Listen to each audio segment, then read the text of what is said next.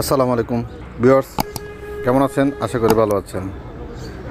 সাবেক প্রধানমন্ত্রী খালেদা জিয়ার মুক্তি এবং বিদেশে চিকিৎসা নিয়ে দীর্ঘদিন টানা পড়ার পর বর্তমানে বিএনপি কঠোর অবস্থানে যাওয়ার পর বিএনপির পন্থী আইনজীবীদের সাথে বৈঠকে মিলিত হন আইন এবং বিচার ও সংসদ বিষয়ক মন্ত্রী আনিসুল হকের সঙ্গে। তার খবরের মূল খবরে যাই। আলাপ আলোচনার পরবর্তীতে সিদ্ধান্ত নেওয়া হবে, আইনমন্ত্রী বলছেন। আইন অনুযায়ী খালেদাকে বিদেশে- নিয়ে চিকিৎসা করার কোনো সুযোগ নেই বলে জানিয়েছেন আইনমন্ত্রী। তিনি বলেন, আলাপ আলোচনা করে পরবর্তী সিদ্ধান্ত নেওয়া হবে। আজ মঙ্গলবার দুপুর আড়াইটার দিকে সচিবালয় বিএনপির বন্ধু আইনজীবীদের সাথে বৈঠককালে তিনি কথা বলেন। দুপুর একটা পঞ্চাশ মিনিটে বৈঠক শুরু হয়। এর আগে দুপুর দুইটায় স্মারকলিপি দিতে সচিবালয়তে পৌঁছেন আইনজীবীরা।